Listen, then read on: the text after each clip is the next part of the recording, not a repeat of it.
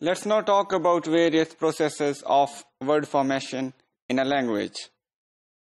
A language uh, do include various processes or activities uh, which bring in new words in that language. Usually, uh, these uh, processes are quite regular in the formation of words. In order to know how words are formed or which word was formed when, uh, we, we have a branch of knowledge which we call etymology. Etymology is, is made of two words uh, which, which are known as etymon and its meanings are original form and logia which means study of. It mean etymology means study of uh, new forms or original forms. Etymology of various words in, in english reveal that there have been multiple sources from which various words came from. There cannot be a single or few sources because words come from various sources and from various languages and cultures this process of evolution of new words and then the new uses of old words is something which uh, tells us about the creativity of a language.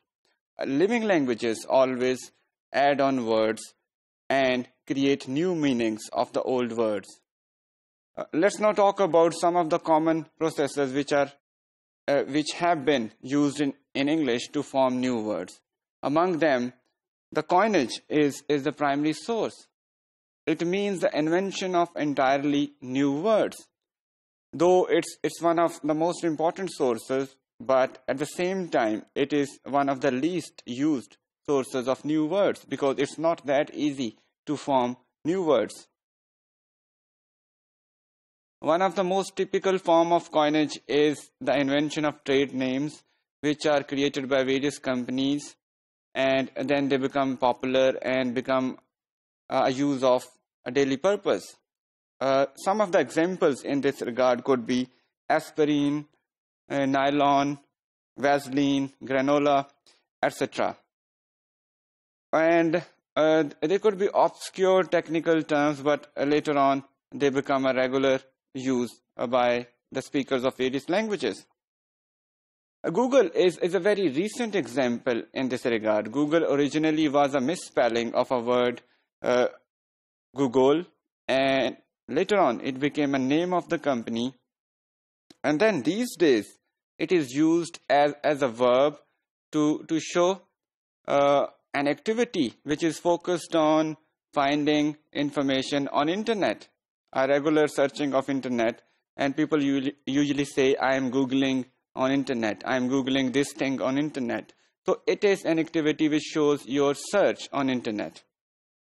New words are also based on the names of some persons especially uh, new products are named after the persons who, who created uh, or invented those products. And this uh, process is called eponyms.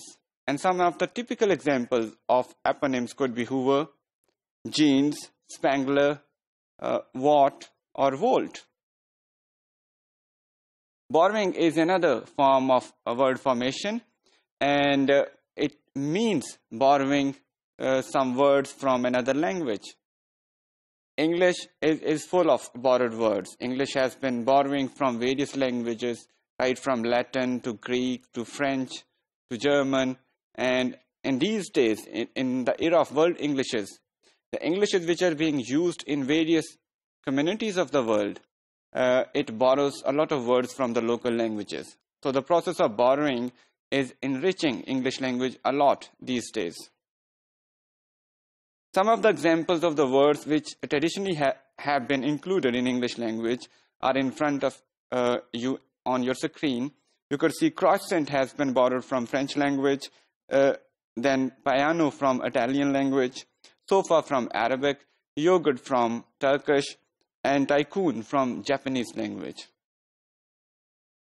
Other languages also borrow from English language because especially these days it's an international language and is definitely influencing various local languages. And in this regard, we could see there are so many words which are these days used by Urdu and English speakers. Uh, and these words originally are from English language. Some examples are supermarketo, which is a, a, word uh, which ha has been borrowed from English language, a word supermarket. A special kind of borrowing is calque or loan translation where a word is directly translated word by word into the target language. For example, the word Hawai Jahaz in Urdu is a direct translation of word uh, aeroplane of English language. Compounding is another form of word formation and it, it consists of uh, bringing together two words to produce a single form. Compounding is very common in English and German language, but it's not that common in French and Spanish.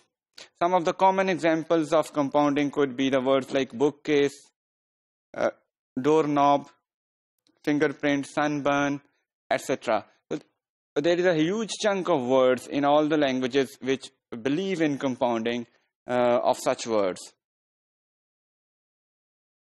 Uh, a typical example of compound words is, is the compound uh, adjectives. For example, good looking, low paid, and there could be compounds of adjectives as well. And we know, uh, we know uh, the examples of such words could be uh, fast food restaurant or full-time job.